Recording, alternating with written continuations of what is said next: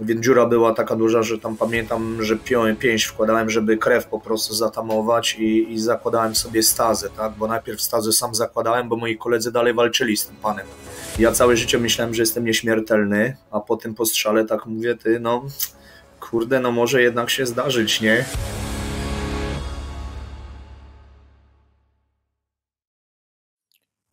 Piotr Zychowicz, historia realna, historia dzieje się na naszych oczach. Drodzy Państwo, dzisiaj naprawdę wyjątkowy gość i wyjątkowy program. Kolejny odcinek serii, w którym na wojnę, na rosyjską agresję na Ukrainie e, rozmawiamy nie z teoretykami, ale z praktykami pola walki. Drodzy Państwo, przywitajmy e, Arek Dębiński, Motyl, żołnierz gromu. Dzień dobry. Dzień dobry, witam wszystkich serdecznie. Bardzo panu dziękuję, że przyjął pan zaproszenie do naszego programu. Co tu dużo gadać, nie będę tam owijał w bawełnę. Wielki zaszczyt, że pan jest z nami. Dziękuję bardzo.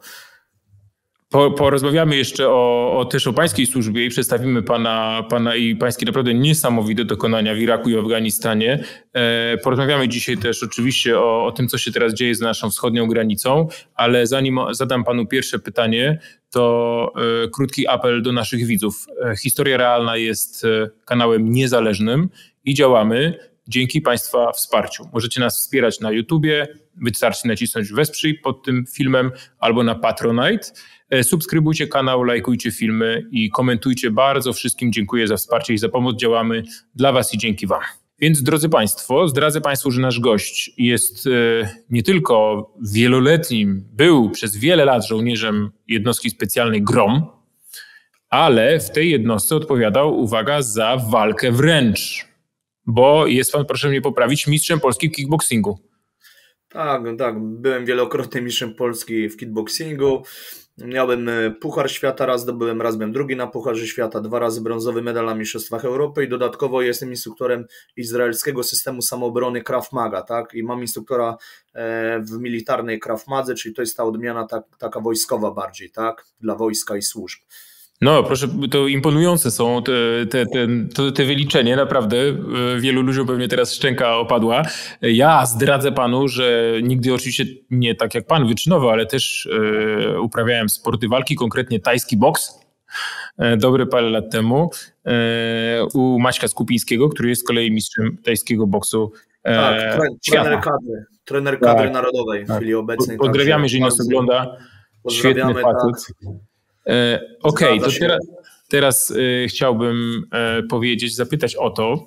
Wie pan, dzisiaj na pan również miał na sobie podczas misji bojowych sprzęt warty tam kilkadziesiąt, kilkaset tysięcy e, złotych. E, są na polu bitwy e, nowoczesne karabiny z jakimiś niesamowitymi lunetami, drony, rakiety, nowoczesne czołgi, elektroniką, to jest wszystko nafaszerowane. I gdzie to wszystko, proszę mi powiedzieć, miejsce na walkę wręcz? Czy to się nadal zdarza? To się przydaje na rzeczywiście żołnierzom jednostek specjalnych takie umiejętności? Czy to jest po prostu tylko taki element E, ćwiczenia i po to, żeby utrzymać ich w formie?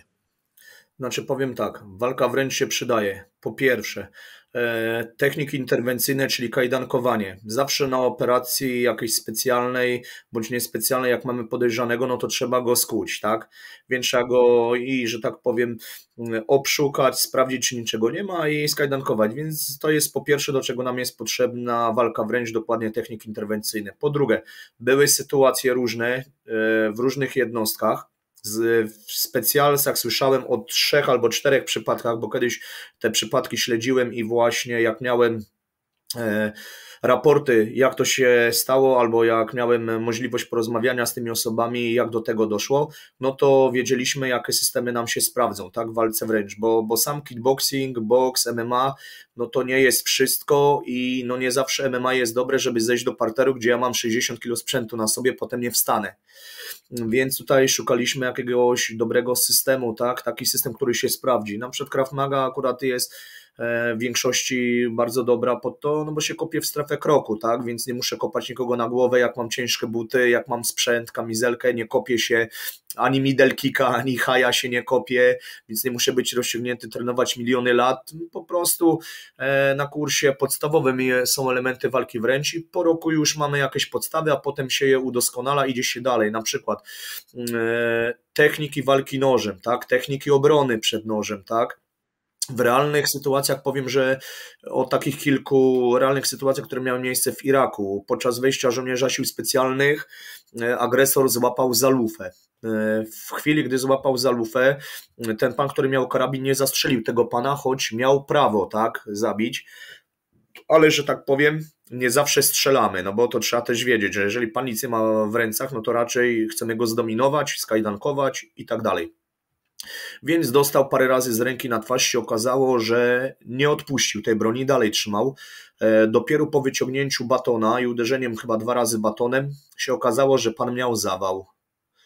Był w takim stresie, że miał zawał i trzeba było go reanimować. Dobrze, ale chwileczkę. Y, y, musimy tu wytłumaczyć widzom, którzy mogą nie wiedzieć. Baton, czyli pałka teleskopowa, tak? tak, zgadza się.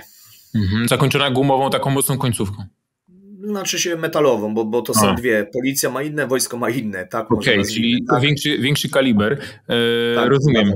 Okej, okay, ale pan, i proszę powiedzieć jeszcze inne miał pan opowiedzieć historię. E, tak, i takie historie jak widać się zdarzają, tak? Dosyć często jest, że nieraz trzeba kobietę odepchnąć, coś, coś powiedzieć, bo nie reagują w ogóle na komendy, no bo my mówimy w innych językach, tak? Więc nie reagują na gesty na nic, więc nieraz trzeba je uspokoić. No wiadomo, że nie każdy uderzy kobietę, więc trzeba ją odepchnąć, tak troszeczkę pokazując, że jesteśmy agresywni, żeby one się uspokoiły, tak? Żeby dzieci zabrały, więc e, cały czas jest coś takiego potrzebne, tak? E, była sytuacja raz, że kobieta wskoczyła na plecy jednemu żołnierzowi, tak? E, więc kolejna sytuacja, która się zdarzyła, była sytuacja jednostki specjalnej amerykańskiej, gdzie doszło do takiej sceny, że pan wystrzelił prawie wszystko, co miał, nie zdążył przejść na broń zapasową i, i się bili po prostu, tak? Więc, więc są różne sytuacje, no nie? Dobrze, a słynne, znane wszystkim e, obezwładnianie strażników, kiedy ma być operacja wykonana w nocy, to chyba wtedy też jest ważne, żeby tego wystrzału po prostu nie było słychać.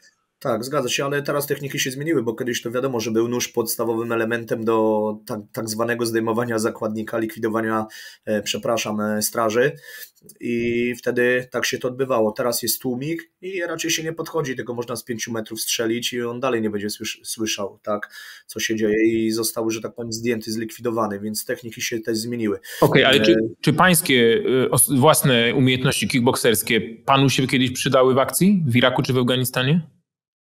E, mi osobiście nie. Przydały mi się, gdzie mnie kiedyś e, zaatakowano w Polsce. I miałem dwie takie sytuacje. Akurat kopnąłem na strefę kroku i no naprawdę myślałem, że zabiłem tego pana, który mnie zaatakował ale no, po pół godziny gdzieś dopiero wstał, miałem taką krytyczną decyzję, czy aby dobrze zrobiłem, czy go nie zabiłem, ale pan był tak agresywny, że, że nie dało się go w ogóle nic zrobić, jakieśkolwiek techniki interwencyjne nie działały. Po prostu musiał być na czymś dobrym. Jakieś pewnie środki zażywał, tak? Był jeden przypadek, e, akurat nie w Polsce, gdzie e, pan e, był na takich prochach, że dostał tyle kopnięć w strefę kroku, jak przyjechała policja, go w pięciu obezwładnili, jak zaczynali mu rozcinać spodnie, to przy kostkach była krew i tak głęboko rozcięli mu spodnie, że się okazało, że już nie miał w ogóle strefy kroku, miał całą po prostu rozkopaną, nie? Był na jakichś e, prochach i nie działały żadne techniki, tak? E, była sytuacja, że nie mogli w ogóle mu dźwigni założyć. Dwu, czterech, czterech policjantów nie było w stanie, to proszę zobaczyć, co się dzieje, tak?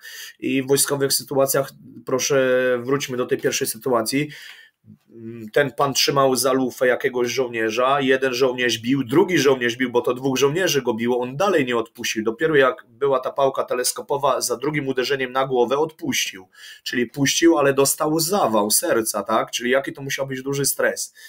Więc takie sytuacje się zdarzają, no mi się nie zdarzyły, tak? Moim kolegom się zdarzyło parę takich sytuacji, akurat gdzie, gdzie uderzyli kogoś. No tak, ale to pokazuje, że żołnierz e, musi być e, wyszkolony tak, żeby sobie poradzić nie tylko z tym super nowoczesnym sprzętem, który ma na sobie, a który może w jakichś okolicznościach stracić albo nie może go użyć, ale również e, w inny sposób.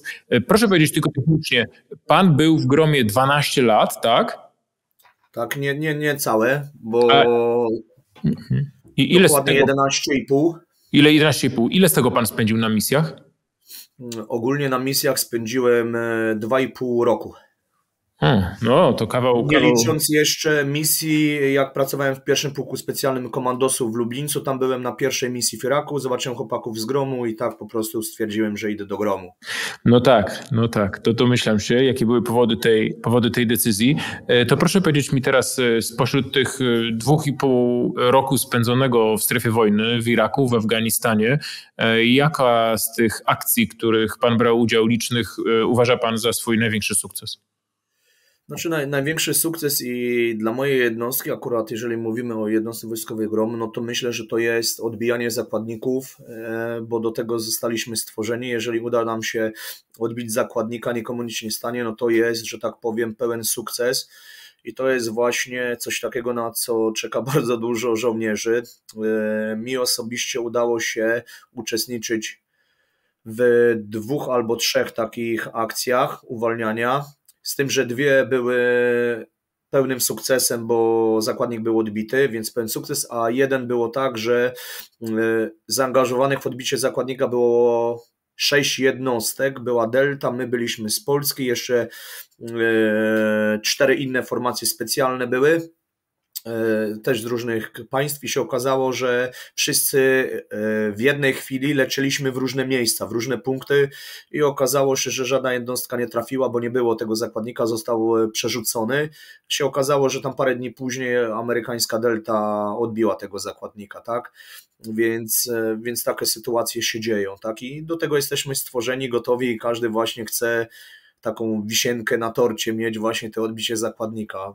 No dobrze, to niech pan o tej wisience coś opowie, bo rozumiem, że tutaj liczy się szybkość, tak? Jeżeli jest człowiek, któremu ktoś drugi przystawia pistolet do głowy albo nóż, no to rozumiem, że to liczą się ułamki sekund, tak?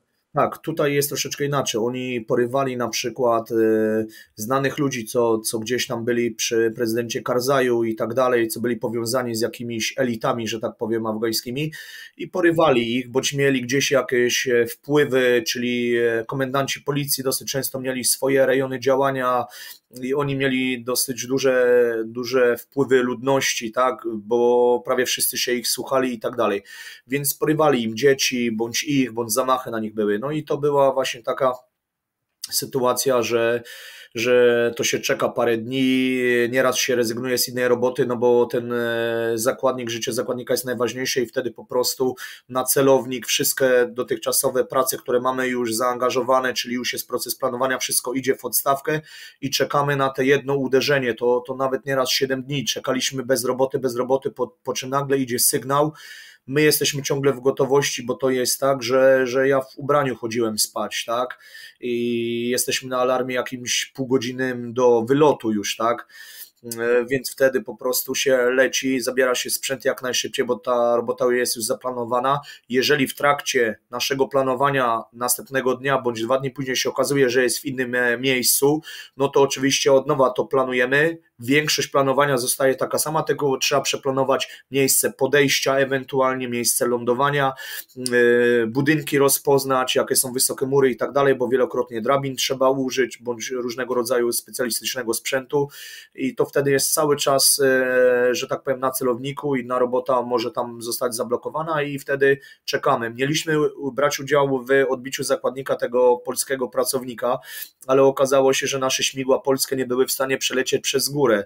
E, czekaliśmy na tę robotę na lotnisku prawie cały dzień. Następnego dnia e, na lotnisko poleciały, e, spe, polecieli specjaliści z Ameryki i okazuje się, że my u nich jedliśmy na stołówce, przebywaliśmy z nimi, my planowaliśmy robotę, oni planowali i nagle się okazuje, że na lotnisko my poszliśmy o godzinie 10 rano i siedzieliśmy do 15 i nagle się okazuje, że oni wpadają i oni lecą. I my się pytamy, a gdzie wy lecicie? Oni mówią, no lecimy tego waszego Polaka odbijać a my, no ale my mamy go odbijać. Oni, no ale my już mamy śmigła, dostaliśmy polecenie, lecimy, tak? Mhm. Więc, śmigła, czyli po prostu zabrakło wam sprzętu, śmigłowca po prostu, który mógłby tak, naszych tak. żołnierzy tam...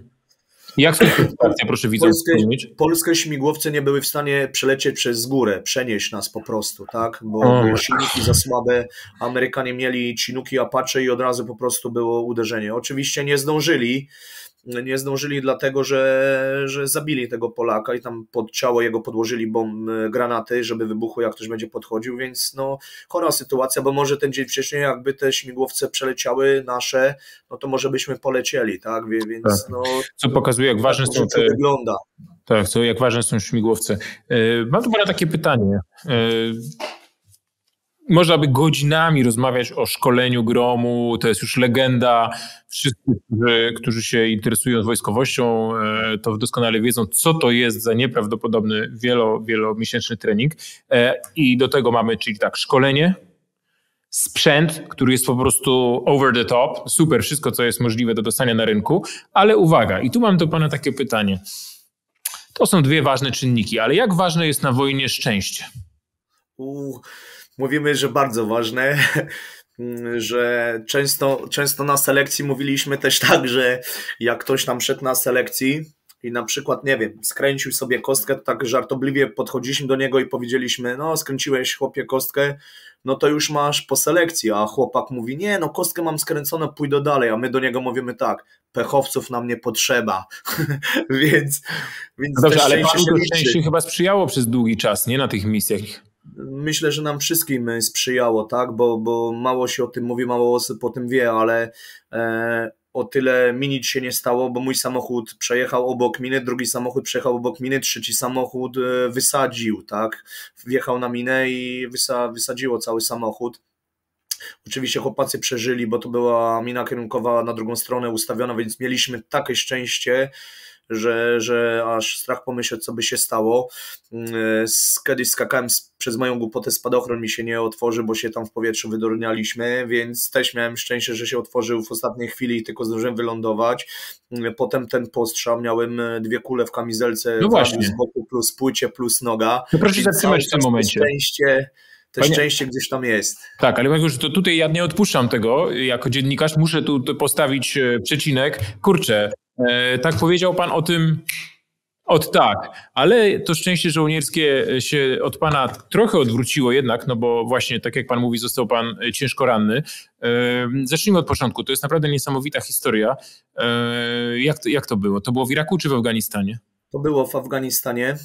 Właśnie robiliśmy wtedy operację też specjalną, prawie że niewykonalną, dlatego że żadna jednostka, nawet polskie jednostki, które były specjalne, odmawiały. Nie będę mówił jakie, bo, bo tak naprawdę tylko trzy były, z tym, że dwie stricte uderzeniowe. No i przyszło, że, że nasza jednostka grom musi zrobić. Planowaliśmy to dosyć często. Tam był taki problem, że cały czas ten cel, który mieliśmy, zmieniał godziny, dni, kiedy przyjeżdżał w te dane miejsce, w dany rejon, gdzie odbywały się szkolenia, bo to prawdopodobnie byli najemnicy, którzy szkolili Afgańczyków, tak, w podkładaniu ID-ków. Poza tym, jak wyszliśmy na obiekt, to ta pierwsza grupa, która była na obiekcie, stwierdziła, że tam całe plany były, jak się robi ID-ki, jak się robi pierwszą pomoc i tak dalej. E, więc poleciliśmy też po paru próbach zrobienia tej operacji, bo nam uciekali, stwierdziliśmy, że w ogóle zmieniamy plan działania. Ktoś ich informował, więc w ogóle inaczej tą całą akcję zaplanowaliśmy. No i poleciliśmy z innego miejsca i udało nam się, tak? Z tym, że ja byłem w grupie drugiej, tak zwanej pościgowej, od zatrzymywania tych wszystkich osób, które wychodziły z obiektu. No i okazało się, że dwóch panów uciekło. Jednego udało nam się zatrzymać, śmigłowiec wylądował i i paru chłopaków od nas plus policja zatrzymała tego pana, a my poleciliśmy jeszcze za drugim. No ten drugi akurat się strzelał z nami ze śmigłowcem już, więc tam snajper go ranił, e, jak jechał motorkiem, wiem, że go trafił, bo krew już była, jak doszliśmy do, do tego jego motorku i on nam się ukrył w obiekcie. Tak naprawdę nie wiedzieliśmy gdzie, więc cały obiekt sprawdziliśmy. Okazało się, że idąc na podwórko, on nas ostrzelał, gdzieś tam był e, na podwórku no i okazało się, że e, zaczęliśmy obchodzić e, z drugiej strony go. Ja byłem jedynką wchodzącą, a ten pan stwierdził, że obiegnie nas z drugiej strony. No i tak żeśmy się spotkali, nie wiem, około 5-10 metrów od drzwi. No i tak była walka, on strzelał z drzwi, a my na tym podwórku żeśmy szli wszyscy, tak? No miałem szczęście, byłem tą jedynką, więc od razu Zrobiłem takie taktyczne strzelanie, tak jak nas uczyli, dlatego nie zostałem ranny, e, że tak powiem, od przodu w nogę, co miałem też może i szczęście, bo, bo, bo kroiłem sobie ładnie. skanowałem ten teren, no i dostałem tylko dwie kule w bok i jedną w nogę, tak, i to tak z boku w nogę, więc więc dziura była taka duża, że tam pamiętam, że pięść wkładałem, żeby krew po prostu zatamować i, i zakładałem sobie stazę, tak? Bo najpierw stazę sam zakładałem, bo moi koledzy dalej walczyli z tym panem. Więc tam cały czas była walka. No i przyleciał śmigłowiec i mnie zabrał. Tak naprawdę śmigłowce były w górze snajperami, więc tylko wylądowały, zabrały mnie, pole, polecieliśmy jak najszybciej do, do gazni na leczenie i, i tyle, tak. Ciężka robota. Mhm ciężko do wykonania. Widać, że to byli jacyś profesjonaliści, najemnicy, tak. No, no działali tak jak ja bym działał, jak żołnierze specjalni działają, tak, specjaliści na całym świecie, nie? Tak, żeby nie dać się złapać i oni tak działali właśnie. Dobrze, a jeżeli miał pan tak olbrzymią ranę y, postołową nogi, y, pięść weszła w tą ranę, to z czego on strzelał? To z Kałasznikowa, coś takiego? Tak, z Kałasznikowa to było. A co się stało z tym człowiekiem? No nie ma go już, no co mam mówić. Dobra. Okej. Okay. To jest coś niesamowitego. Czyli co? Czyli dostał pan trzy kule, jedną, tak. jedną w nogę. E, I co, proszę powiedzieć mi, przewieziono pana do szpitala, tak? W bazie e, tym śmigłowcem? Tak, w bazie. Poleżałem w bazie dwa dni, od razu mnie wywieźli. I tak naprawdę jeszcze w Afganistanie leżałem ogólnie 7 dni. Na ósmy dzień mnie przetransportowano do Rheinstein. W Rheinstein leżałem 5 dni, bo nie chciałem leżeć, od razu chciałem do Polski i tutaj trafiłem do szpitala e, na szaserów i tam się po prostu dalej rehabilitowałem i leczyłem. A czyli, że można pana zapytać, czy ma pan do dzisiaj jakieś e, skutki tego, tej rany? To znaczy tak, bo ja mam, przez to musiałem odejść z wojska, tak, bo ja mam niesprawną tą nogę w 100%. Mm, ona utraciła bardzo dużo mięśni i dodatkowo nie mam sprawnego nerwu, tak, czyli nie mam czucia w nodze głębokiego więc e, mam tam trochę problemów z nią. To nie jest tak, że, że mogę biegać 3000 metrów, na przykład już nie przebiegnę, tak? Nie wiem w ogóle, czy jeszcze w życiu przebiegnę 3000 metrów, bo, bo po prostu po kilometrze zaczynam kuleć, bo noga jest tak słaba, no, że, że tak to wygląda. Tak. Wie pan co, no i abstrahując od oceny tej, e, tej, tej misji naszej irackiej i afgańskiej, to nie będę ukrywał, że jestem bardzo, bardzo krytycznie nastawiony do naszego udziału w tych misjach, ale wielki szacunek dla pana. E, słuchałem tego naprawdę, no wielkie to na mnie wrażenie zrobiło i, i myślę, że w imieniu wszystkich e, widzów i swoim chciałbym panu szacunek przekazać jako żołnierzowi Rzeczypospolitej, który, który to dostał ranny on the line of duty. E, I teraz pytanie, które już panu raz zadano w wywiadzie i pozdrawiam tutaj naszego wspólnego znajomego Tomka Drwala e, i pozdrawiam cię, jak nas oglądasz. E, polecam państwu też jego kanał. Obaj zresztą, ja i pan tam występowaliśmy, ale to jest to, co, to, to, co fajnie pan wtedy u niego mówił i chciałem też o to zapytać, bo o tym to się nie mówi żołnierz sił specjalnych to jest twardziel, e, obwieszony tym całym sprzętem, e, świetnie wyszkolony, jedzie na daleką wojnę, robi robotę, zagryza zęby, jak nawet jak zostanie ranny, e, ale przecież to wiadomo, że to tylko filmy, a rzeczywistość jest taka, że pan ma żonę, pan ma mamę, pan ma dwoje dzieci. Proszę, jak, jak, jak to się odbijało wszystko na przykład na pańskich stosunkach właśnie, właśnie po prostu z żoną, to, to, to co się działo? Znaczy powiem tak, jak już leżałem w szpitalu, byłem ranny, no to, no to ogólnie syn nie przychodzi do szpitala, bo był tylko raz czy dwa razy, nie chciał przychodzić, nie chciał mnie oglądać w takim stanie, tak, więc, więc tak to było. A od samego początku to było też tak, że, że oczywiście e, żona miała telefon. O tyle dobrze, że to zadzwonili moi koledzy, bo, bo wtedy zadziałały, że tak powiem, e, wojska, czyli MON cały, chciał poinformować żonę, ale my mamy taką zasadę, że zawsze jak coś się dzieje, to jednak koledzy, e, z którymi mamy cały czas kontakt, bo nie dość, że się szkolimy razem, to jeszcze dosyć często spędzamy razem czas na jakichś urodzinach, czy, czy na jakichś imprezach i tak dalej. Więc zadzwonił kolega do żony, tak, i, i poinformował, żeby się nie martwiła, że wszystko jest ok, że coś tam się wydarzyło i że ja zadzwonię, nie, za parę dni i będzie, że ok po prostu, więc ona już się tak nie martwiła, tak. Z tego co wiem, moje mamie to, to po prostu brat chyba opowiedział, czy żona, już nie pamiętam, że że miałem wypadek, tam klucz czy coś od koła strzeliło i tam mu coś prze, przecięło i będzie wracał, nie? I tyle, żeby tam nie, nie było żadnych jaj, zaraz, że znowu ktoś zadzwoni i opowiada różnych historii, bo takie historie się właśnie zdarzają, że, że z MONu ludzie dzwonią i potem jest panika cała i tak dalej, nie? Więc tutaj już, już była przygotowana na to, tak? Druga rzecz była też taka, że e, ja miałem pomoc od razu z jednostki, i to naprawdę dużą, bo i dostałem karetkę do przywiezienia mnie i był załatwiony samolot do transportu. Tak naprawdę wielu Polaków, którzy byli ranni, leżeli w Ramstein, to dzięki temu przyleciało razem ze mną, bo się okazywało, że MON no nie był w stanie nic załatwić przez jakiś tam czas, tak? A moja jednostka była w stanie załatwić bardzo dużo i po prostu ci, co mogli, to się załapali ze mną na, na lot. Jest to przykre dla mnie, no ale, ale takie rzeczy się działy. Po mnie przyjechała karetka chłopa, który nie miał ręki, e, Tomek Rożynatowski, którego pozdrawiam, był bez ręki, no, no do, wsiadał do autobusu, zresztą jakiś tam panów bez nóg i tak dalej, więc to jest dla mnie w ogóle dramat, jak byli potraktowani ci ranni e, w szpitalu. No to tak jak powiedziałem, no, żona przyjechała z dzieckiem dwa razy i młody potem już nie chciał, żona tylko przyjrzała co drugi dzień.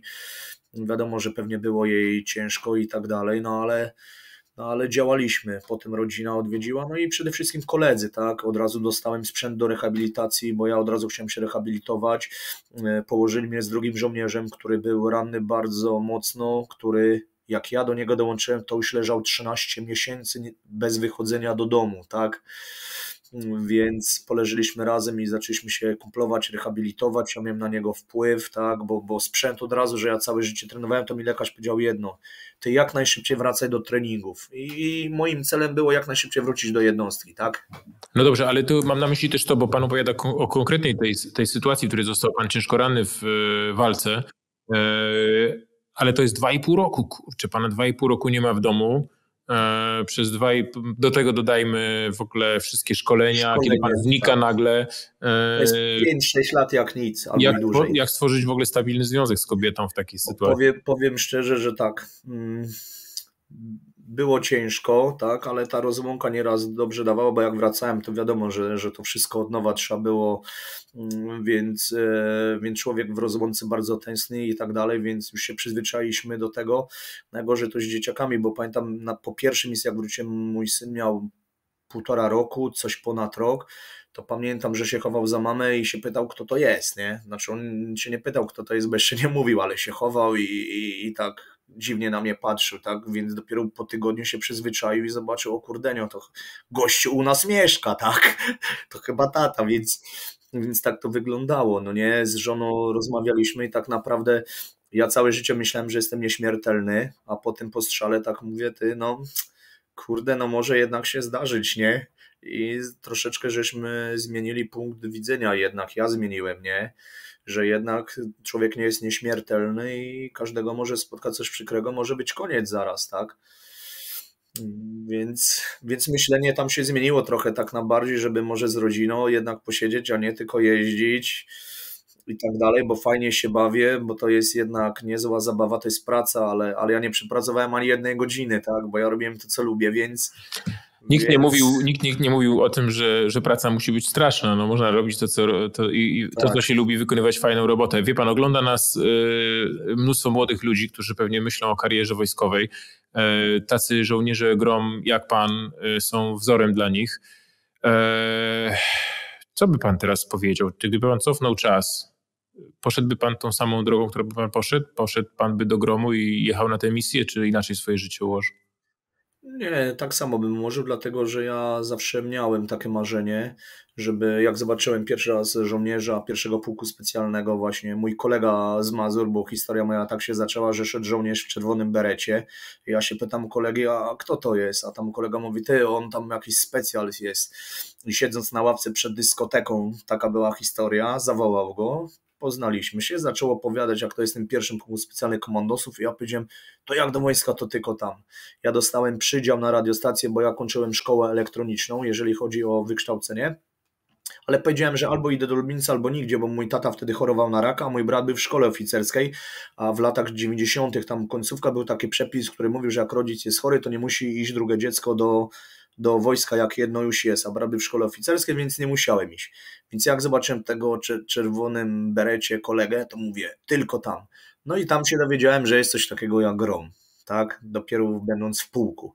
I pojechałem na misję do Iraku, chłopacy z gromu nam pomagali, bo było takie przeszkolenie, jak zobaczyłem ich, jak są ubrani, jak działają, jaki mają sprzęt, co robią, bo nam tam pokazywali różne taktyki inne, to po prostu powiedziałem, ja muszę tam iść. I moi starsi koledzy z Lublińca powiedzieli mi, że oni też próbowali, ale tam się nie dostali. I wtedy napisałem w Iraku własnoręcznie e, tam były trzy jakieś dokumenty wtedy potrzebne chyba wniosek, e, nie pamiętam tam przebieg służby, jakiś list motywacyjny był i to wszystko odręcznie sam napisałem w Iraku, dałem koledze i on jeszcze w Iraku to wysłał, ja jak wróciłem do Polski, to od razu dostałem wezwanie na selekcję, nie?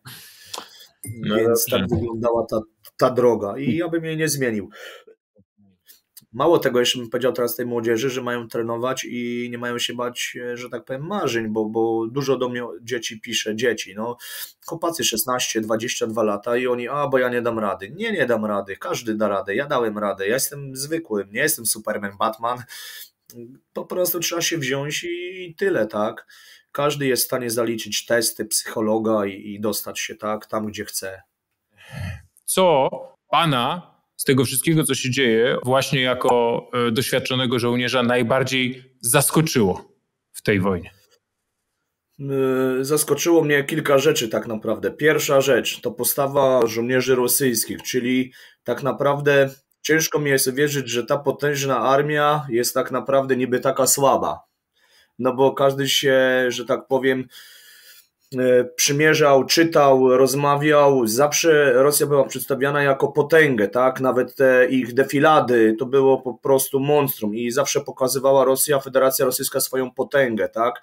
E, zawsze wszędzie pokazywali, jak dobrze są e, rozwinięci militarnie, tak? Teraz nagle się to wszystko zmienia w naszych oczach, dlatego że na Ukrainie tak naprawdę my tej potęgi nie widzimy. To jest pierwsza rzecz. To jeżeli chodzi o sprzęt i tak dalej. Druga sprawa to jest e, ci ludzie, żołnierze, którzy, że tak powiem, walczą, że jednak tak naprawdę wydaje mi się, że ta Federacja Rosyjska ma tak samo problem z ludźmi jak cały świat, bo, bo w chwili obecnej jest bardzo ciężko pozyskać specjalistę wysokiej klasy w każdej dziedzinie w wojsku.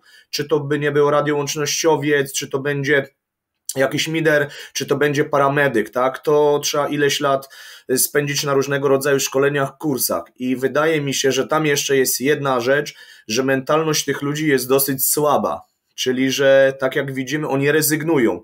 Druga rzecz, nie wiem też o co chodzi, czy to nie jest też gra jakaś mm, pana Putina, że ci żołnierze mają taką legendę, że mówią, że przyjechali na poligon, a nie na wojnę. Czy to jest legenda? I tak dobre legendowanie, czy to po prostu zdarzyło się naprawdę, że wrzucił e, młodych chłopaków, bo, bo większość z nich to młodzi chłopacy, na pierwszy ogień, mówiąc, że jadą na poligon i, i to będzie duży wyjazd poligonowy, a nie wojna. Więc tutaj no, można wiele rzeczy z tego wyciągnąć, tak? No dobra, to zacznijmy, może rozłóżmy tę pańską pierwszą wypowiedź na, a, propos, a propos wojny na Ukrainie e, na czynniki pierwsze, czyli co? Problem jest na i ludźmi i z maszynami, tak?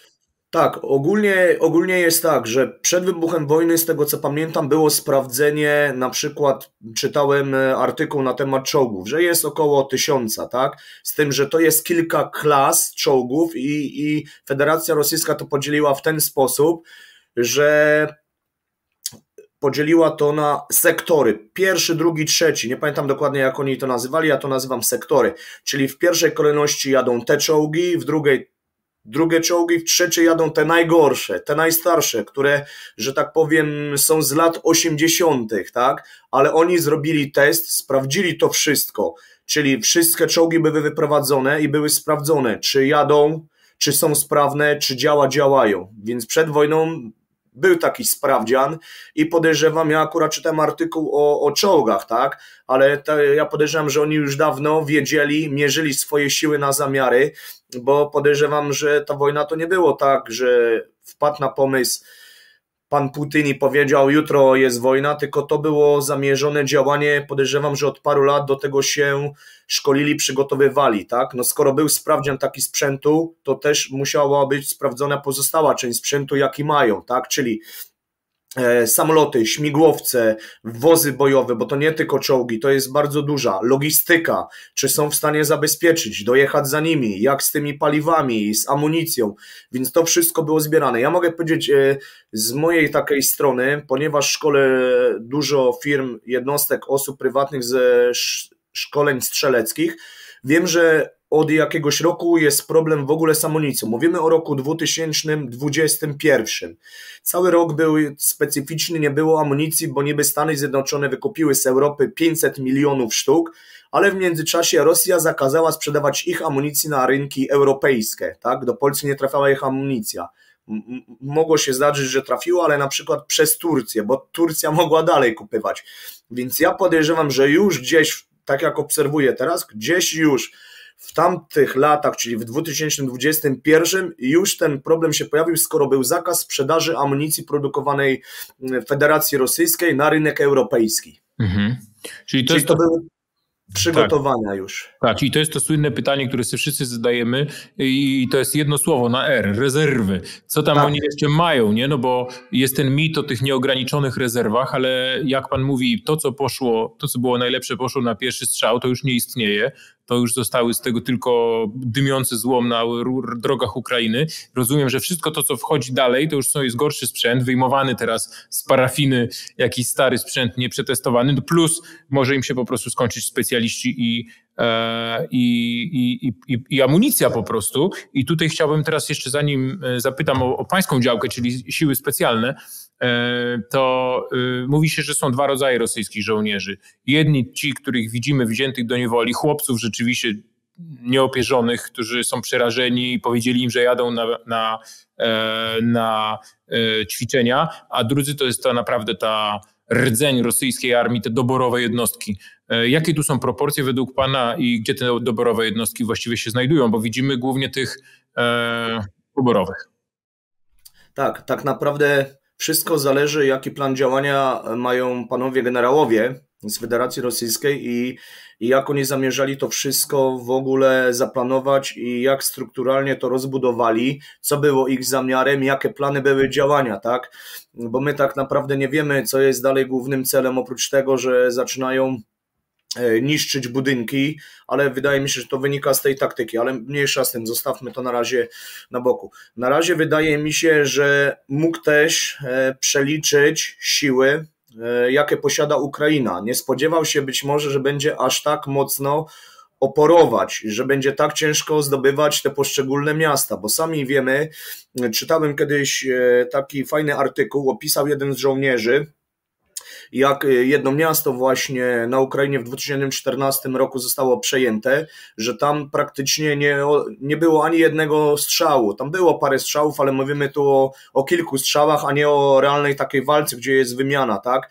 Tam e, dzień, dzień czy dwa dni przed zdobyciem w ogóle miasta było tak, że odbyło się wielkie ćwiczenie, oni wystrzelali prawie 100% swojego zapotrzebowania amunicji, po czym następnego dnia e, wkracza e, Federacja Rosyjska i przejmuje miasto, tak? I tam praktycznie bez walki się odbyło, bo ta społeczność, ludność też jest zmieszana, tak? Część to jest pozostałości rosyjskiej ludności, część to Ukraińcy, no wiadomo, że tam i, i było, że 1% Żydzi i i jeszcze dodatkowe jakieś ludność była, jeżeli o tym mówimy. I oni po prostu nie chcieli walczyć, w ogóle nie wiedzieli, co się dzieje. I tak to się odbywało za pierwszym razem. Teraz to jest dalej kontynuacja, bo ta wojna tak naprawdę nigdy się nie skończyła, ona cały czas trwa, tylko teraz poszła dalej, tak? I teraz e, proszę zobaczyć, e, że wrzucił tą młodzież, tych młodych, i tak naprawdę może myślał, że to tak samo się odbędzie, jak się odbyło kiedyś. My tego nie wiemy. My nie wiemy, co panowie generałowie, jaki raport e, trafił do e, pana Putina, tak? My tego nie wiemy, jaki raport. Może mówili, że były walki, a nie było ich. No nie wiemy. Może tak właśnie zadziałały służby, że zorganizowały wtedy wielkie ćwiczenia, już były w strukturach wojska, bo przenikły, tak? Bo tak działają różnego rodzaju służby. I nagle się okazało, że po prostu przejęli to bez walki, tak? Więc być może był taki plan działania. Tutaj Ja czekam tylko na to, e, kiedy zobaczę jakieś jednostki specjalne, FSB, guru, bądź e, tak jak teraz kadyrowcy się pojawiają, grupa Wagnera i tak dalej, no ale jest cisza. Niby tam kogo złapali, niby zabili, niby byli poprzebierani i w autobusie chcieli wjechać do miasta. Teraz wyczytałem gdzieś tam na zagranicznej stronie, że jedną grupę, prawdopodobnie to są Wagnerowcy, bo nie jest opisane kto, doszło do takiej sytuacji, że się zdobyli jedno pomieszczenie gdzieś tam w bloku, weszli w ubraniach cywilnych, sąsiadka ich zobaczyła, że dosyć spora grupa wchodzi do mieszkania. Nie wiem, czy jest to prawdą, bo jest to opisane gdzieś tam na ukraińskiej stronie, jak przetłumaczyłem sobie na Google, że doszło do takiej sytuacji, że oni weszli do pomieszczenia i sąsiadka wiedziała, że dosyć spora grupa wchodzi, około 15 mężczyzn. I ona zaczęła obserwować, co się dzieje, i, i, i zadzwoniła po jakiejś służby, że jest dziwna sytuacja, tak? Czyli chodzi o to, że tak, nie pili, nie hałasowali, tylko zachowywali się bardzo cicho, wręcz inaczej niż zawsze ktoś się zachowuje. I to wzbudziło e, w tej pani jakiś tam E, że tak powiem, e, te zachowanie, że nie było takie racjonalne jak zawsze, tylko o co tu chodzi, tak? I to wzbudziło w niej właśnie takie dziwne podejrzenia. Więc. Więc no to, i tak to, i ona zadzwoniła po, po wojsko ukraińskie, tak? Tak, chodzi, chodzi nie, chodzi o to, o prawdopodobnie to była jakaś jednostka specjalna Federacji Rosyjskiej, może Wagnerowcy, nie wiem tego, bo nie było to napisane, jest tylko napisane, e, że ta pani zgłosiła to i przyjechała grupa, jednostka specjalna ukraińska i po prostu zlikwidowała tą, tą grupę. Nie wiem, czy doszło do strzelaniny, bo nie jest napisane, jest tylko napisane, że, że byli jacyś E, z Federacji Rosyjskiej z jednostki specjalnej i zostali zlikwidowani. Nic więcej nie mam żadnych innych informacji, więc ja nie wiem też tak naprawdę, co tam się stało. Tak? To są tylko takie, że tak powiem, e, opisy sytuacji, które gdzieś tam się pojawiają w internecie, tak? No tak, ale to strasznie by to spieprzyli, jeżeli to się potwierdzi, to rzeczywiście. I to jest trochę to pytanie, które chciałem panu zadać, to znaczy e, pan służył wiele, wiele lat w e, gromie, w ogóle w jednostkach specjalnych i teraz obserwujemy wojnę, to już nie jest Irak, Afganistan, to jest po prostu pełnoskalowa wojna. Mamy czołgi, mamy drony, rakiety, samoloty, masy piechoty. No krótko mówiąc, to wszystko, o czym czytaliśmy w podręcznikach do tej pory. I pytanie, czy w ogóle na takiej wojnie jest miejsce na siły specjalne, na takie chirurgiczne uderzenia e, komandosów? W ogóle widzi pan na tej wojnie jakieś ślady większej aktywności po obu stronach, i rosyjskich, i e, ukraińskich jednostek specjalnych? E, tak, jakieś na razie to tak naprawdę żadne operacje nie są opisane, może za parę lat jakieś książki wyjdą na, na ten temat, ale obserwuję po zdjęciach i różnych filmach na razie pokazują. Te działania jednostki specjalnej tutaj będą troszeczkę inne, tak? To będą takie działania, że tak powiem, niekonwencjonalne troszkę, czyli do tego właśnie są stworzone siły specjalne. Czyli nie będziemy działać stricte, że będziemy wchodzić na obiekt, e, taktyka czarna i mm, kroić, sprawdzać pomieszczenia i robić direct action, czyli złapanie bądź zabicie jakiegoś pana, tylko tutaj jest bardziej walka, e, że tak powiem, partyzancka. Oni mają gdzieś na przykład być może jakąś drogę na obserwacji, być może dostają z wywiadu jakieś informacje, że będzie tędy ktoś przejeżdżał, czekają, tak jak jest widać ostatnio, właśnie bardzo fajny film widziałem, jak e, dwóch specjalców, mm, ten film jest na YouTubie dostępny, ukraińskich oczywiście sił specjalnych. Na motorze podjechało, jeden, drugi, szybko tylko przeszli, e, weszli na drogę, od razu ostrzelali czołgi, które jechały. Oczywiście czołg pierwszy został zniszczony, reszta nie mogła przejechać na jakiejś wąskiej drodze, tak? Więc to jest właśnie robota sił specjalnych. Takie uderzenie i szybko znikamy, tak? Bo tak naprawdę tych żołnierzy sił specjalnych, proszę pamiętać, że na całym świecie, w danym kraju jest niewielki procent tak naprawdę z całego wojska i oni muszą działać niekonwencjonalnie, nie dać się zabić, nie dać się pojmać, czyli działają typowo partyzancko. Uderzają, znikają, idą w drugi rejon, może jeszcze raz w tą samą kolumnę zaatakują, ale z innej strony i tak dalej, więc te działania są troszeczkę inne niż, niż my robiliśmy w Afganistanie, chociaż są bardzo podobne, bo ta druga strona w Afganistanie tak właśnie działała. Mhm. No właśnie, to jest to pytanie, czy y, bo jednostkę specjalną i no nie jest to tajemnicą dla, dla nikogo, że każdy z was specjalców jest po prostu warty waszą wagę w złocie.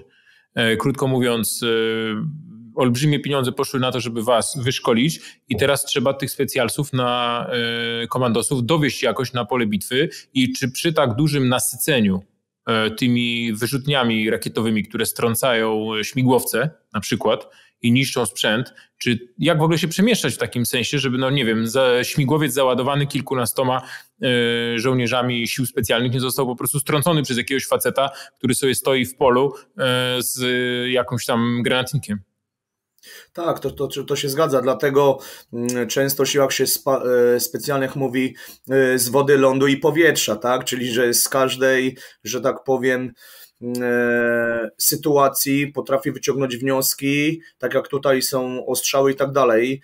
E, więc raczej nie będą szli aż tak bardzo w stronę przerzutu samolotami, śmigłowcami. Poza tym, e, jak widzimy, no, Ukraina nie ma aż tych śmigłowców do przerzutu e, za dużo, tych specjalnych. Poza tym, moim zdaniem, nie miałoby to sensu, bo prze, przewiezienie gdzieś jednostkę specjalną samolotem, gdzie wszyscy widzą, że on leci, no to jest troszeczkę, że tak powiem, dla mnie może w tej chwili dla Ukrainy nieopłacalne. Raczej bym wolał wziąć, powiedzmy, samochód, są pojazdy specjalne, na przykład tylko dla dwóch osób. Są to specjalne pojazdy, które mogą jeździć nie po drogach off-roadem. Mają poza tym dobry sprzęt na tych samochodach.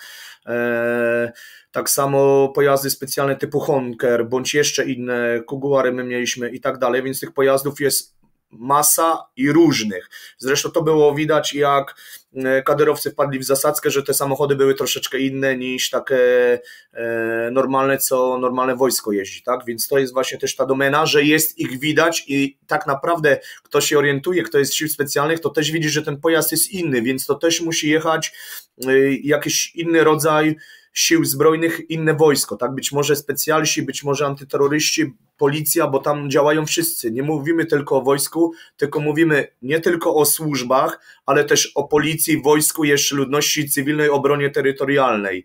Więc tam jest całkowity miks. Jeżeli chodzi o te siły specjalne, to tak jak mówiłem, ja widziałem na filmie, jak dwóch specjalców podjechało motorami, zostawili motory, szybko uderzyli na motory i ucieczka, tak? Dlaczego? Dlatego, że jest ich bardzo mało. Jeżeli zginie specjal, to tak jak przed chwilą wspomniałeś, będzie tak, że to kosztuje dosyć dużo, tak? Czyli przeszkolenie jego, wyposażenie jego, e, poza tym trwa to kilka lat, więc oni nie mają na to czasu, więc takich ludzi naprawdę tam powinno być dużo i się ich szanuje. Oni wiedzą, co mają robić, tylko dostają polecenie i tak to sami planują, żeby były jak najmniejsze straty, e, w naszej e, ludności, w naszym wojsku, w naszej formacji specjalnej, ale jak największe straty po drugiej stronie. Tak, ja też trochę myślałem o stronie rosyjskiej, jak zadawałem pytanie. To znaczy, no Rosjanie przecież mają dziki problem z tym, że im e, Ukraińcy wszystko zestrzeliw zestrzeliwują z powietrza piorunami, polskimi pociskami, a to, co jeździ, e, rozwalają jawelinami i tam. E, Enlołami, no to efekt jest taki rzeczywiście, no, że jak tam jest taki cenny ładunek w środku ludzki, e, to straty mogą być e, kolosalne. Teraz tak, ja wiem, że pan teraz, e, kiedy już nie jest pan w gromie, specjalizuje się w szkoleniach, szkoleniach między innymi takich ludzi, którzy będą mogli chronić VIP-ów, na przykład właśnie na polu walki. Jest to bardzo skomplikowane szkolenie. E, no i oczywiście to jest to pytanie. Mamy sytuację, w której od samego początku Rosjanie, według doniesień medialnych, dali olbrzymią e, mm, nagrodę za głowę prezydenta Zełęńskiego. Prezydent Zełęński jest w Kijowie, przemieszcza się z miejsca na miejsce. Kijów od samego początku, od tego pierwszego desantu był penetrowany przez Rosjan, czasami podobno przebranych za Ukraińców. W związku z tym chciałbym teraz zapytać, jak według Pana, tak fachowym okiem, może wyglądać e, ochrona Zełęńskiego teraz? Ile tam jest ludzi, co oni robią, jakie mają zadania, e, jak mogą zareagować, gdyby na przykład w pobliżu prezydenta znalazł się jakiś zamachowiec, kadyrowiec czy, czy człowiek wysłany przez FSB? Ja tak naprawdę myślę, że jeżeli chodzi o prezydenta Ukrainy, to oni to naprawdę mają dobrze zaplanowane i ta jego ochrona już od dłuższego czasu miała zaplanowane jakieś punkty ewakuacji, tak? Przede wszystkim musimy powiedzieć, że ochrona ma kilka kręgów, to są tak zwane sektory, tak? I każdy sektor odpowiada za różnego rodzaju wpuszczenie e, do kolejnego e, pierścienia, do kolejnego e, do kolejnej strefy i jakichś tam ludzi, którzy mają dopuszczenia, nie wpuszcza się byle kogo i tak dalej. Więc ja podejrzewam, że tak, prezydent na pewno ma grupę generałów, z którymi się spotyka, bądź tylko na wizji, bo, bo tak naprawdę nie wiemy, czy prezydent nie jest przenoszony z miejsca na miejsce, bo pamiętajmy, że druga służba, druga strona też działa, tak? Czyli Federacja Rosyjska dała nagrodę i oni polują tak, na prezydenta Załęskiego, więc wiadomo, co się będzie działo. Będą chcieli go za wszelką cenę, jego rodzinę mm, zabić, tak, żeby, żeby po prostu nie było e, już prezydenta, będą mogli, nie wiem, nową władzę wstawić, cokolwiek, co będą chcieli zrobić. Może nie będzie osoby, która będzie wydawała panom generałom e, polecenia, rozkazy, jak dalej mamy działać, tak. Więc to jest pierwsza rzecz. Więc ten pierwszy krąg, tak zwany, ten e, pierwszy pierścień, Pierwsza strefa to jest bardzo daleko od niego. Ja podejrzewam, że tutaj może być tak ustawione, że normalsi, czyli jakaś policja, obrona terytorialna zajmuje się tym kręgiem zewnętrznym, tak go, tak go nazwijmy, tym pierwszym pierścieniem, pierwszą strefą, czyli podejrzewam, że to może być strefa gdzieś, jak on jest w środku Kijowa, gdziekolwiek w środku jakiegoś miasta, to to może nawet ta pierwsza strefa być na obrzeżach e, miasta, tak? Czyli na samym wejściu do miasta. Dlaczego?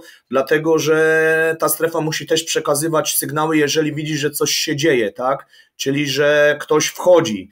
E, potem jest druga strefa, drugi pierścień, E, to jest druga strefa właśnie, ona już odpowiada za to, że każda osoba, która ma wejść w ten pierścień już bezpośredni z prezydentem, oni go sprawdzają. Oni sprawdzają tego człowieka, kto to jest, czy nie jest uzbrojony, więc oni byle kogo też tam nie wpuszczają. To jest wojna, więc ta e, technika i taktyka, jeżeli chodzi o VIP-a, jest troszeczkę zmienna, bo, bo jeżeli chodzi o różnego rodzaju ochronę VIP-a normalnie gdzieś tam jak przyjeżdża prezydent, to jest troszeczkę inna, tak? Bo tam te spotkania wiemy, gdzie jedzie, wiemy z kim chce się spotkać, wiemy jakimi drogami będzie jeździł. Tutaj niestety my nic nie wiemy. To tylko on planuje ze swoimi ludźmi z tego bezpośredniej ochrony, z bezpośredniego kręgu bezpieczeństwa, tak? Z tej ostatniej strefy, czyli z pierścienia e, tego najbliższego jemu, tak?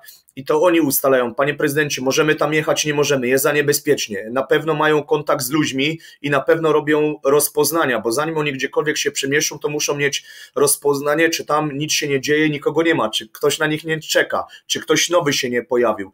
Więc tutaj ja podejrzewam, że akurat jeżeli chodzi o prezydenta Ukrainy, to bardzo dużo, dużo ludzi jest to zaangażowanych, bo mi się wydaje, że im wszystkim zależy na tym, żeby jednak ten prezydent jak najdłużej żył i jak najdłużej się pokazywał, przemawiał, e, że tak powiem, bardzo medialnie pokazywał, co się dzieje na Ukrainie. Zresztą widzimy, co się dzieje, jakie informacje idą. To jest po prostu.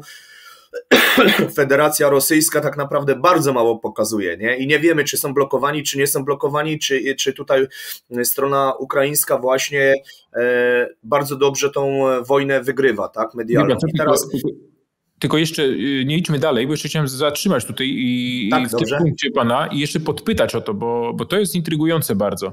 Y, mianowicie to ma pan rację, że, że Zełański jest po prostu super facetem, naprawdę świetnym i świetnie to robi, jest wyluzowany, jest w podkoszulku, jaskrawo kontrastuje z tymi nabzdyczonymi rosyjskimi generałami Putinem, e, ale to są oczywiście tylko trochę gra pozorów, bo e, to, co się wokół niego dzieje, to znaczy ochronę, to jest bardzo na serio. I teraz chciałbym pana zapytać, zanim zadam kolejne pytanie dotyczące innych aspektów tej wojny, co konkretnego mają przy sobie tacy właśnie ochroniarze VIP-a, bo ja zdradzę panu, że kiedyś swego czasu, jak pracowałem w Rzeczpospolitej, to sporo jeździłem po świecie z e, właśnie, no, latałem raczej e, z naszymi to premierami, prezydentami rozmaitych opcji i na przykład taka rzecz, która mi się byliśmy razem w Afganistanie, no, na Bliskim Wschodzie, w Libii, w różnych krajach afrykańskich i tam była bardzo ta ochrona rzeczywiście wzmocniona i zauważyłem, pomijając te charakterystyczne, wie pan, wy, spod kołnierzyków wystające słuchawki,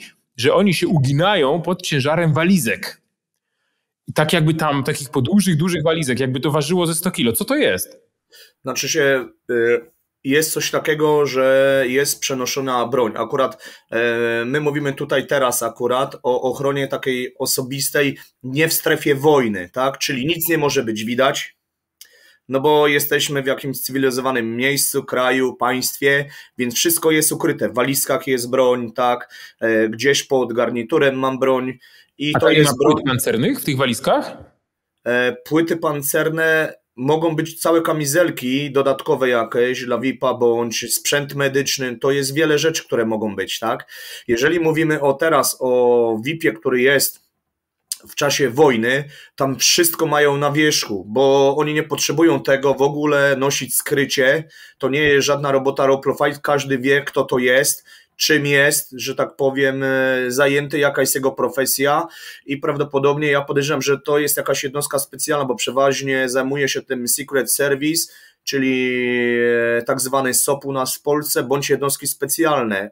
Wiele razy jest tak, że te dwie formacje współpracują z sobą przy ochronie. I teraz tak, przy ochronie, jeżeli mówimy w strefie wojennej, tam jeszcze dochodzi parę innych rzeczy, coś takiego jak zespół wsparcia, czyli tam są ciężkie karabiny, czyli na przykład minimi karabin maszynowy, tak jak u nas był jakiś granatnik, który mamy, więc to już jest broń troszeczkę cięższa. To nie jest tylko pistolet i MT5, tylko to już są karabiny, nawet się bierze też snajperów, strzelców wyborowych, żeby oni też wspierali. Różnego kalibru mają, tak?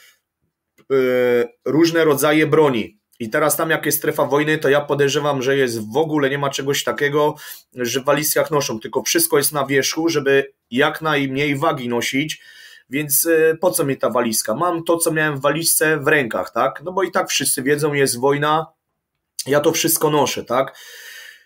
Na pewno mają e, jakieś granaty i tak dalej. Na pewno mają e, granaty dymne, tak, że w razie kontaktu mogą zerwać. Na pewno mają noktowizję, bo też działają w nocy, więc moim zdaniem na pewno jest to jakaś jednostka specjalna, bądź tak jak powiedziałem, e, Secret Service, tego rodzaju formacje, tak? I tam już no niestety nie ma czasu się bawić, że ktoś w garniturze chodzi, tylko ja podejrzewam, że ci panowie są tam naokoło, nie wiem e, jak pracują, czy w ogóle mają przerwy, czy mają rotację, czy się zmieniają, czy w tym kręgu bezpośrednim, który jest przy prezydencie, czy jest tylko grupa ludzi, która została dopuszczona, bo tak musi być i on ich wszystkich na pewno zna, czyli nie ma kogoś nowego, że nie wiem, powiedzmy ja dostaję jakiś dobry pieniądz, jadę tam go chronić, raczej mnie nie wpuszczają, bo mnie nie znają, jestem niesprawdzony, e, więc mają tam na pewno zaufanych ludzi i podejrzewam, że... No właśnie. I, i, i to, to, to, muszę pana zapytać. Pieniądze, a jednak patriotyczny obowiązek. Mam na myśli to, że proszę zwrócić uwagę, że czasami jak są fałszywe alarmy, Albo na przykład, jak rzeczywiście jest zamach, to bardzo często widzimy taki, no, taki dramatyczny moment, kiedy ci ochroniarze VIP-a, którzy są wokół niego, e, po prostu przykrywają go swoimi ciałami. Czy to jest taka rzecz, którą e, przeszkolony dobrze taki, no nie wiem, żołnierz ochrony e, prezydenta w trakcie wojny, no musi się z tym liczyć, że, że ma ten ułamek sekundy, żeby własnym ciałem i wziąć tą kulę za, za prezydenta. Tak, właśnie o to chodzi, że po to jest ochrona, że przede wszystkim ja odpowiadam za, za życie ludzkie, tak? Czyli tak jak mówi ochrona VIP, very important person, czyli ta osoba jest dla mnie najważniejsza i moim zadaniem jest ochronić go. Dosyć często słyszałem u żołnierzy sił specjalnych amerykańskich, on mówił, że a moje życie to jest nic. A ja mówię, jak nic? Nie, no moje życie to jest nic. Najważniejsze, że ja mam uratować. I on mi to powtarzał. Najważniejsze, że ja mam uratować. Ja biorę za to pieniądze, to jest moje ryzyko i, i tyle, tak? I oni byli na to mentalnie przygotowani. Tutaj każdy żołnierz i każdy w ogóle pracownik różnego rodzaju formacji służb, który odpowiada za ochronę VIP-a, to musi wiedzieć jedno, że VIP jest najważniejszy i on jest gotowy na to, żeby dać swoje życie za niego, zasłaniając go, chroniąc, jeżeli granat wybucha, tak? Są w ogóle nauczane techniki, co robią ochraniarze, jak jest granat, tak? E, no są różne sytuacje, które mogą się zdarzyć. Jak jest ostrzał, dlatego jest, jak się wychodzi z samochodu, e, jak się wprowadza VIP-a.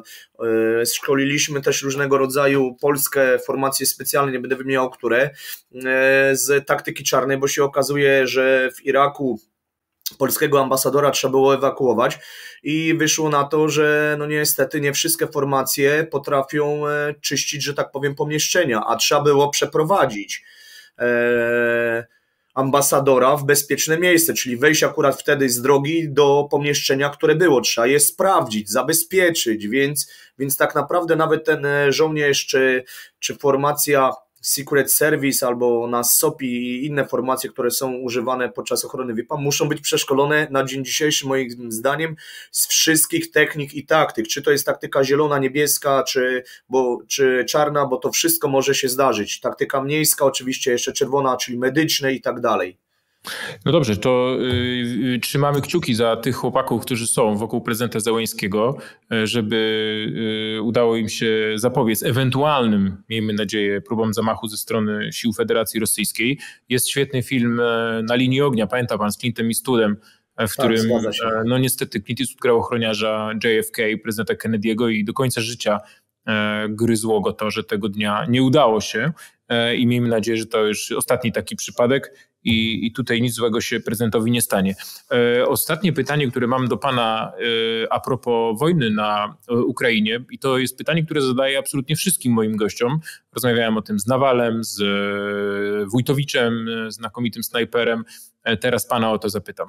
Jest wielka dyskusja między specami, opinią publiczną na temat tego wojny asymetrycznej. To znaczy, e, są tacy, którzy uważają, że wojna, nadal na wojnie są kluczowe czołgi, ciężki sprzęt. Inni uważają, że przy pomocy taniego w miarę sprzętu, czyli konkretnie rakiet i tych wyrzutni e, przeciwpancernych, można niszczyć czołgi. W związku z tym czołgi są już e, przestarzałe. I teraz jak pan myśli, co ta wojna na Ukrainie, co ona pokazała? Czy rzeczywiście to jest już taki moment, w którym czołg to jest tylko jeżdżąca trumna, a doskonale wyszkolony żołnierz z, właśnie z jakimś tam pociskiem przeciwpancernym może e, przy niewielkich kosztach zniszczyć coś, co jest bardzo, bardzo drogie. I e, nie wiem, pan jako praktyk, rzucam to, to pytanie, ciekawi mnie pańska opinia. Znaczy, ja jako żołnierz, były żołnierz, były operator wojsk specjalnych, myślę, że wszystko zależy od rejonu też działania, bo, bo że tak powiem, e, ta wojna, która jest teraz na Ukrainie, pokazuje, że niestety e, zaczynają strzelać też do ludności cywilnej, do, że tak powiem, różnego rodzaju budynków, obiektów, które nie są obiektami jakimiś, które mają. E, jakiś potencjał militarny, tak? Dlaczego to robią? Nie wiem, może cywile do nich strzelają, jest to samo co w Afganistanie, chowają się, oni odpowiadają. Mniejsza z tym. Więc te czołgi, rakiety, inne środki, e, samoloty, które bombardują, są konieczne, tak? ale wydaje mi się, że teraz tutaj i ta wojna jest troszeczkę inna, bo to nie chodzi tak jak za czasów e, II wojny światowej o zbombardowanie, zniszczenie, nie wiem, Warszawy. E, tam nie będą niszczyć tego wszystkiego, bo jest jakiś cel, tak? E, najprawdopodobniej cel jest przejęcie władzy tak, na Ukrainie. Jeżeli ma cel, no to też troszeczkę by było głupio zniszczyć całą strukturę. Więc teraz te czołgi, no niestety samoloty i cały sprzęt się nie sprawdza, ale z drugiej strony musimy mieć taki sprzęt, bo sami wiemy, że pierwszy dzień wojny to były e, były strategiczne niszczenia punktów, które były wyznaczone jako very important, czyli że bardzo ważne do zniszczenia struktury, lotniska, jakieś obiekty wojskowe, tam gdzie była przechowywana broń, wszystkie informacje, co Federacja Rosyjska miała, niszczyła. Normalnie byśmy tego nie zniszczyli siłami e, konwencjonalnymi, chyba żebyśmy wysłali tyle jednostek specjalnych w tyle różnych miejsc, rejonów, żeby oni to zrobili w ciągu na przykład jednego dnia, tego samego dnia, może godziny, żeby wszystko było, że tak powiem, skoordynowane, więc to było ciężko zrobić, więc potrzebujemy tych środków dalej, tak? Ale tak jak patrzę teraz e, tutaj na tą wojnę i dalej jak się to dzieje, nie pierwszy dzień, tylko już jest 20 e, chyba trzeci, piąty, tak? Więc już tych dni trochę minęło, to proszę zobaczyć, że tutaj jednak ten sprzęt, o którym żeśmy mówili, Piorun, Stinger, tu po prostu rozwala wszystko, co tylko spotka na swojej drodze i jest bardzo skuteczny. Więc wychodzi na to, że ta taktyka troszeczkę się zmieniła. Mi się wydaje, że ktoś, kto e, szkolił tych żołnierzy na Ukrainie, nie tylko siły specjalne ogólnie, że zrobił kawał dobrej roboty, bo jest widać postęp. Taktyka, jaka jest tu przyjęta i techniki, wykorzystywane różnego rodzaju środki, wskazują na to, że to jest stricte coś podobnego, co odbywało się w Afganistanie. Strzelić, odrzucić broń, to nie ja, pokazać ręce, idę sobie dalej tak? Tutaj pokazuje się niszczę, uciekam, pokazuje się niszczę, uciekam. Dlaczego? Bo jeżeli by te tysiąc czołgów wyjechało i wszystko co mają, to tak naprawdę nie wiem jaki mają zasób materiałowy, jeżeli chodzi o pociski, ale to by po prostu zburzyli, zniszczyli wszystko po swojej drodze. Więc tutaj wydaje mi się, że teraz jeżeli miałbym stawiać, to na sprzęt lekki, na piechotę, wojska mobilne, wojska specjalne. Tak, śmigłowce są potrzebne do przerzucu, bo sami widzimy, żeby zbombardować e, e, Kijów, no to trzeba troszeczkę przelecieć, czy tam przejechać kilometrów. To nie jest tak, że, że w minutę ja jestem już, tak? Więc jakieś tam środki są potrzebne. Jakby żołnierz miał iść pieszo taki kawał drogi, no to powiem, że to by trochę zajęło. Poza tym będzie bardzo zmęczony, tak? To nie są takie operacje, jak my robiliśmy, że szliśmy 8-10 kilometrów w noc jedną i robiliśmy operację, wracaliśmy. Tutaj, no niestety, to wszystko jest tak rozmieszczone, że te wszystkie miasta są w różnych strefach i teraz zająć je w jednej chwili, no byłoby też ciężko, jeżeli miałoby to być wszystko dobrze skoordynowane. Jasne. Więc... Dobra, no to mamy, więc, mamy chyba jasną więc, od, od, odpowiedź. Tak, więc moim zdaniem no, te czołgi, proszę zobaczyć, zatrzymują się, nie mają paliwa, bo co, brakuje logistyki, e, więc to jest bardzo duże przedsięwzięcie. To nie jest tak, jak nam się wydaje. Czołg naprawdę potrafi spalać mnóstwo paliwa, zależy jakiś silnik, tak? Więc e, no, tak naprawdę każde zatrzymanie, gdzieś jazda nie po drodze asfaltowej. Zresztą wiemy, że, że żołnierze ukraińscy wysadzali mosty. Tak po co? Właśnie po to, żeby utrudnić te wszystkie e, przejścia, tak? Tym, tym dywizjom i tak dalej. Więc no, tylko wojska takie, dlatego e, w, w okolice Kijowa zostały zrzucone wojska powietrzno-desantowe, tak, Federacji Rosyjskiej. Dlaczego? Do niszczenia, bo, bo to też, że tak powiem, był mit tej armii, tych wojsk powietrzno-desantowych, tak? No właśnie, no bo wygląda na to, że porzucili swoje doborowe jednostki Rosjanie pod tym Hostomelem e, i Ukraińcy ich skasowali, no.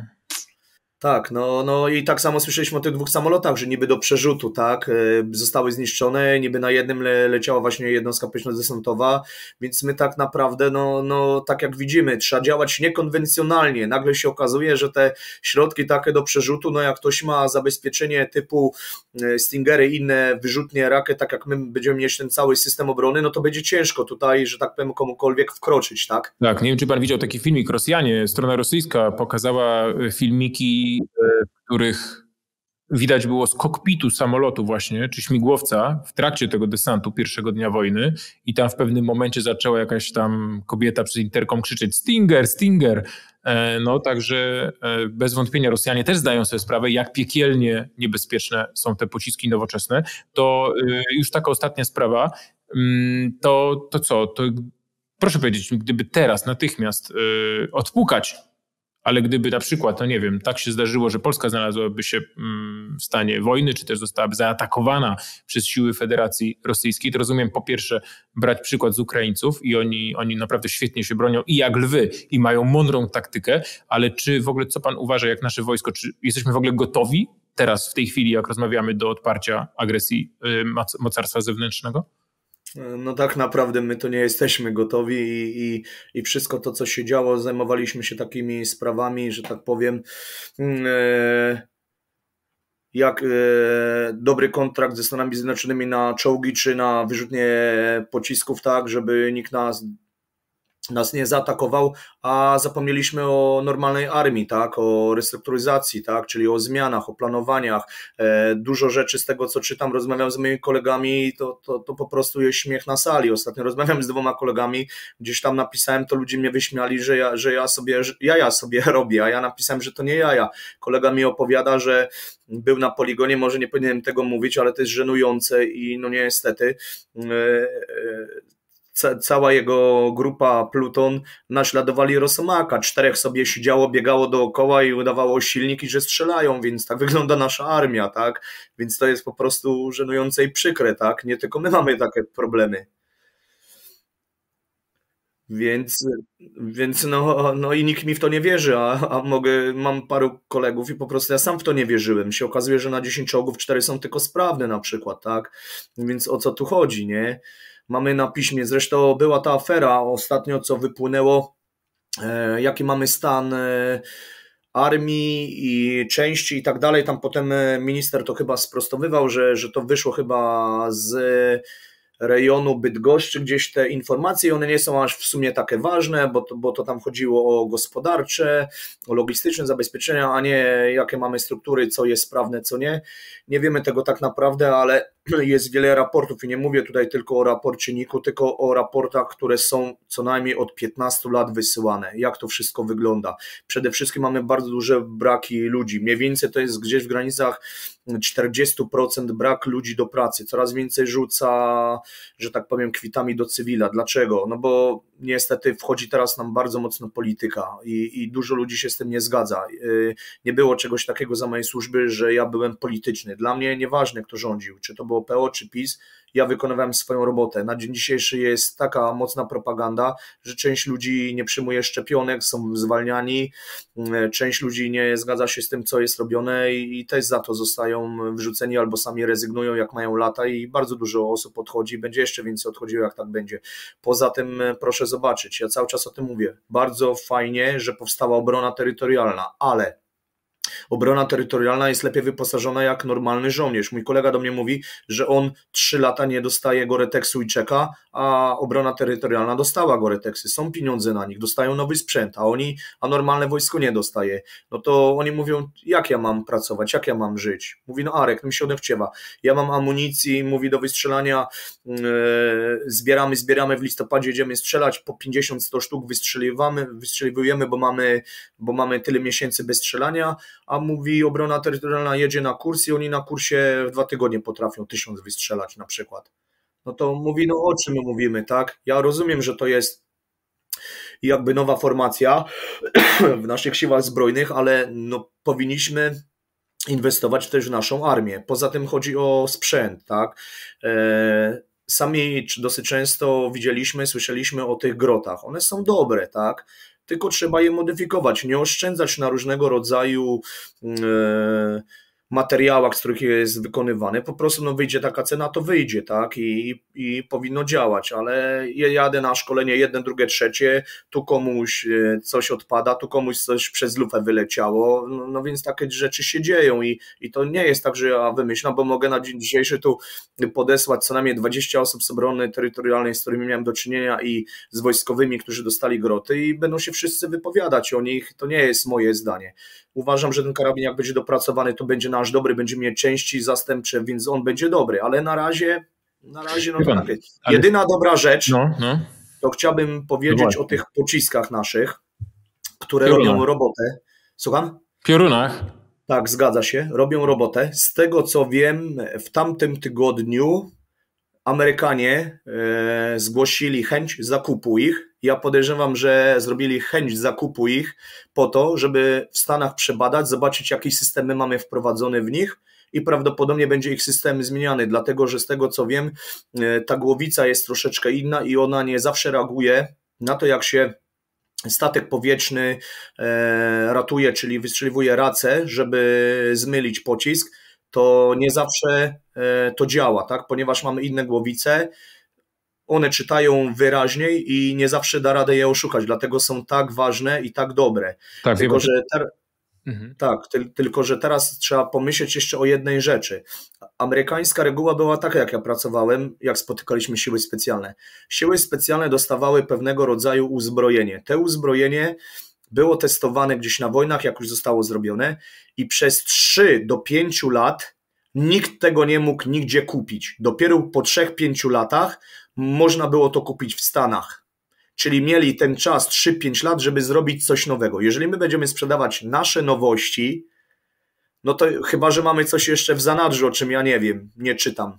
No tak, to ma pan rację, oczywiście. Nie, nie pojawia się, nie? Bo zaraz będzie tak, bo to trzeba zobaczyć na drugą stronę. Pociski są bardzo fajne, niszczą, ale jeżeli ktoś przechwyci ten pocisk i przebada, to już będą robili kontrę na te pociski, czyli będą system taki będą tworzyć, żeby te pociski wybuchały właśnie jak będą race wystrzeliwane, bądź innego różnego rodzaju systemy, które będą blokowały to, tak? I wtedy te pociski za rok, za dwa może już nie będą tak dobre, jak są teraz. Tak, także no bo na dzień dzisiejszy, no jeżeli Amerykanie się interesują, to muszę powiedzieć, że, że naprawdę to musi robić wrażenie, tak? No tak, robi wielkie wrażenie, tylko tak jak pan mówi, sprzedać chętnie sprzedamy, ale, ale e, może rzeczywiście trzeba się jakoś zabezpieczyć przed tym, żeby oni po prostu to skopiowali, tą, e, tą, tą konstrukcję, ale nie wiem, czy to jest, to jest oczywiście e, możliwe. Natomiast chciałbym teraz jeszcze powiedzieć a propos tego, co pan mówił o, mm, o armii. Mówi pan o, o tym, że karabinki się psują.